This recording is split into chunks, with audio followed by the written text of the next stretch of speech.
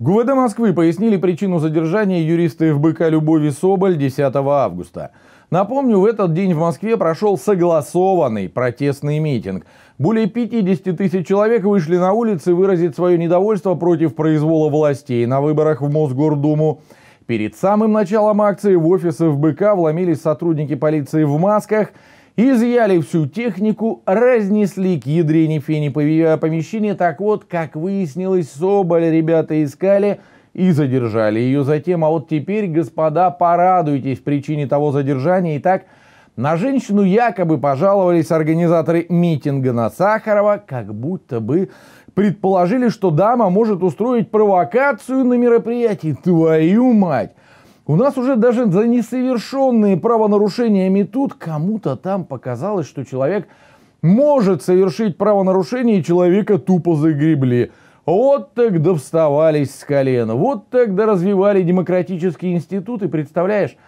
Выходишь ты сейчас на улицу, идешь себе, никого не трогаешь, налетают маски шоу, заламывают руки везут тебя в кутузку, а потом поясняют, да мы подумали, что ты дорогу в неположенном месте планируешь перейти, они там вообще умом тронулись. Это мы к чему придем-то однажды, за что сидишь? Да вот соседка подумала, что я, что я хочу ее изнасиловать, пять лет дали, а ты? Продавщица в магазине показалось, что собираюсь их ограбить, десятку впаяли. И статью соответствующую давайте уж тогда в уголовный кодекс введем, вернее, основание для привлечения к ответственности показалось. Хотя у нас и так любой закон уже через мотивировку потому, что гладиолус рассматривается. За что Соболь-то задержали десятого? Потому что гладиолус блеск. Начинаем.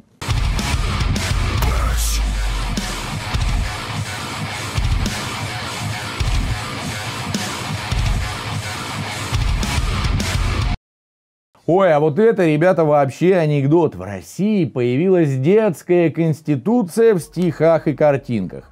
Пособие рассчитано на школьников от 8 до 14 лет. Разработчиком выступил некий фонд «Стратегия будущего». Теперь я вам хочу зачитать пару фрагментов из той Конституции, продемонстрировать, какое будущее нас ждет, потому что они этому детей наших – учить собираются, по идее, вот здесь как раз надо бы сказать, уберите несовершеннолетних от экрана, ну, Коль скоро это придумано как раз для несовершеннолетних, пусть остаются, а вы, дорогие родители, лучше присядьте и... Когда в твоей защите будет нуждаться Родина твоя, рука агрессора нависнет, сгустятся в небе облака, ты на ее защиту встанешь, и в руку ты ружье возьмешь, и будешь защищать Россию, а может, за нее падешь? Ну как вам?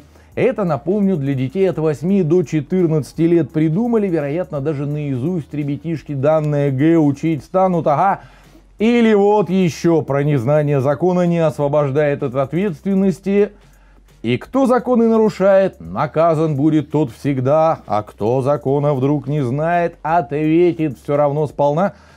Слушайте, мне реально страшно сейчас стало. Вот этим, простите, дерьмом моего ребенка собираются начать кормить в школе на уроках. Из него кто вырастет-то затем? Маньяк какой-нибудь сумасшедший. Малышу восьмилетнему учительница станет рассказывать, ты должен быть готов Взять в руки в ружье и идти убивать других людей, может быть, убьют тебя, но это нормально.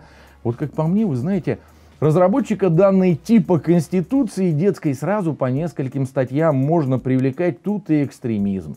И вовлечение в эти экстремистские игрища несовершеннолетних, да я думаю, денег бюджетных на разработку и печать этой мерзости ухнули целую кучу. То есть тут реально есть за что привлекать тех мутантов, членов фонда «Стратегия будущего», в отличие от Соболь, хотя правильнее было бы сказать просто членов, сами деградировали до уровня около околоточных алкашей, теперь решили за наших детей взяться.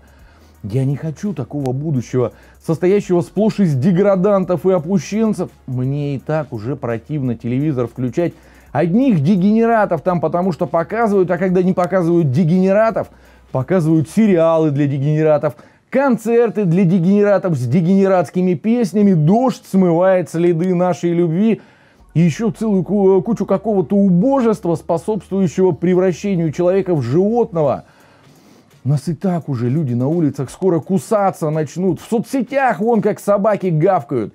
За границей от российских туристов шарахаются пьяным быдлом, считают нам все нипочем. Из детей ущербных начинаем э, лепить. Может уже, господа ватники, хватит. Или быть приматами нравится. Кстати, на днях тут случайно подслушал разговор молодой женщины с маленькой дочкой – Дочка спросила, мама, а почему во время дождя, когда сверкает молния, гром гремит? Знаете, что мама ответила? А это тучки в небе друг с другом сталкиваются, вот и гремит. Не удивлюсь, если мама искренне в это верит. А это реальная журналистика. Новости нашего дурдома снова с вами. Поехали! А у нас тут новый прорыв. Руководство МВД рекомендовало сотрудникам не носить служебную форму во внерабочее время, а также не передвигаться в обмундировании по одному, особенно вечером, дожили. Сотрудникам полиции начальство рекомендует опасаться граждан. Вы, мол, ребята, в форме-то на улицу старайтесь не высовываться. Ходите толпами. Это же за какое правое дело? Стражи порядка бьются, если они сами вот такими вот рекомендациями признают, по сути, что их ненавидят уже люди-то, представляете, как самопожертвованно нужно служить своему народу, чтобы народ тебя возненавидел. Когда такое в нашей стране было? Ах да, вспомнил, было с 41 по 45 год. Полицаи тогда ходили, ходили такие с белыми повязками, оккупационному режиму прислушивали, вот, и, а, прислуживали, вот их ненавидели гражданские. В преддверии 75-й годовщины Победы на полицейских люди начали посматривать примерно с того же ракурса. Это прорыв, друзья, это прорыв. Хотя, а что тут удивительного? Мы последнее время только и наблюдаем, что скотство со стороны тех, кто должен нас защищать. Вот, пожалуйста, свежее кино. Ох ты ж, нифига себе ударил девушку, какой герой! Вы посмотрите, надел маску, ударил девушку, и все ему сойдет с. Обратите внимание, вот этот полицейский, он ведь знает, куда бить. Причем именно куда нужно бить девушке, чтобы ей стало максимально больно. Первый удар в печень, второй в грудь.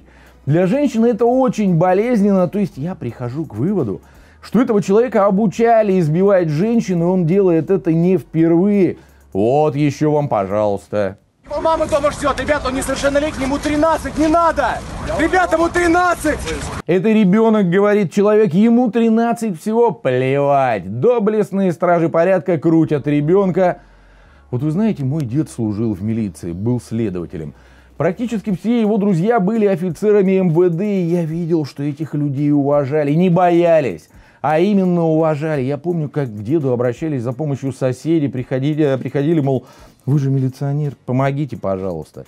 Сегодня, простите меня, господа полицейские, но к человеку в форме за помощью я обращусь в последнюю очередь и скажите за это спасибо вот таким вот животным. Ну и раз о полицейских уже начали говорить, на прошлой неделе в соцсетях появилось вот такое вот письмо.